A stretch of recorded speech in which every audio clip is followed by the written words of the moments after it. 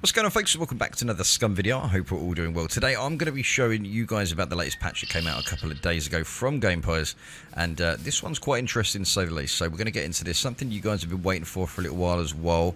And uh, these are pretty cool. So firstly we're going to have a quick look at this. We've got the old 20 litre jerry can. And we now have the 10 litre jerry can as well. Which I'm guessing will save some more space. You should be able to fit that in a motorbike I'm guessing. Uh, we'll have to experiment and check with that.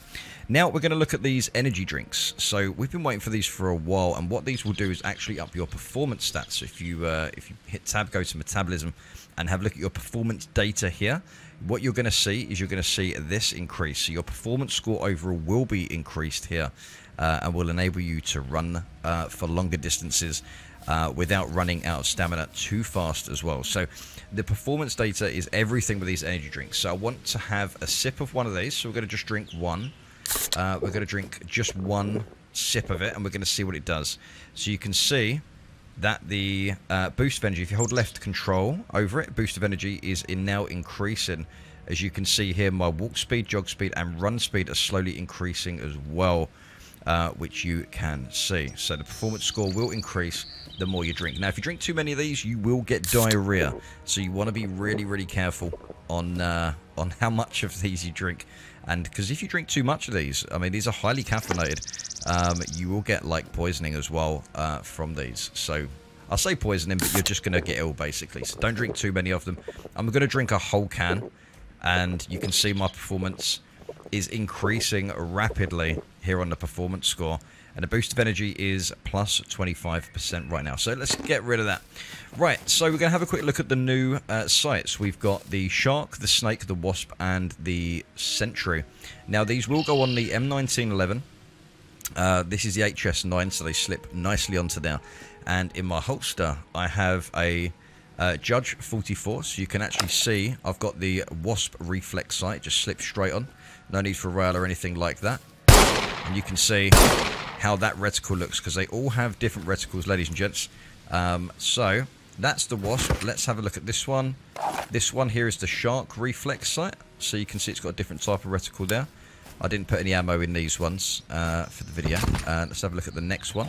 We have the Sentry. This is probably going to be the favourite of most people. Um, so you've got just the dot in this one as well. And we also have what other one do we have here? Let's have a let's have a look. We've got this one as well. We've got the standard circle, uh, which you can see for the snake reflex sight as well. Um, now, looking at uh, these weapons here, we have four different types of suppressors, ladies and gents. We've got a suppressor for the for the 3006. We've got the suppressor for um, the 545 by 39, as you can see on the AKM up there, or the AKS. And we've got a 12 gauge suppressor, as you can see there and we also have the .308 suppressor here for the carbon. Now, these suppressors that you see before you, these will only go on to, uh, the, these are all caliber based uh, suppressors, which basically means it doesn't matter what gun, as long as it's the same caliber in the, in the future, these will fit all other rifles. Right now, the 30-06 obviously uh, will not fit on the M1 uh, rifle because these are new, and like they state, these will only fit on um, future um, caliber rifles uh, that suit uh, the suppressor. So let's just have a quick look. So we're going to have a look at the AKS 74U. So this is this is with the suppressor. Without the suppressor.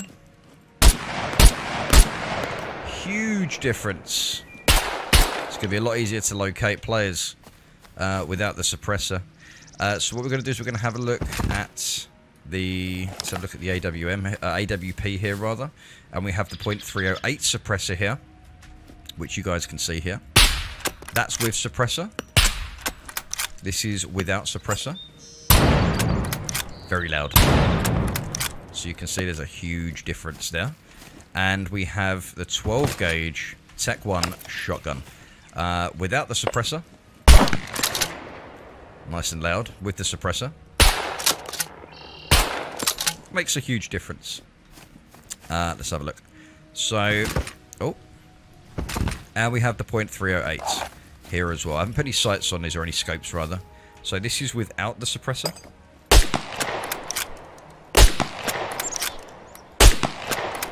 and with the suppressor.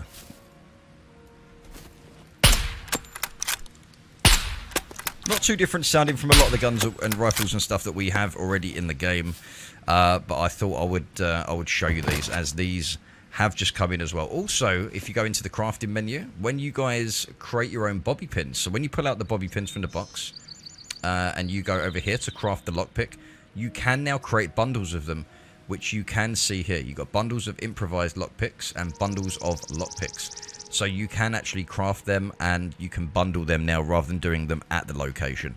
Uh, which is a little bit of a nightmare as well.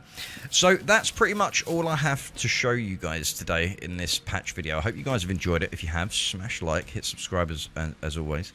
Um, and uh, have a lovely rest of your weekend, guys. And I'll, uh, I'll catch you in the next one. Stay safe. Peace out.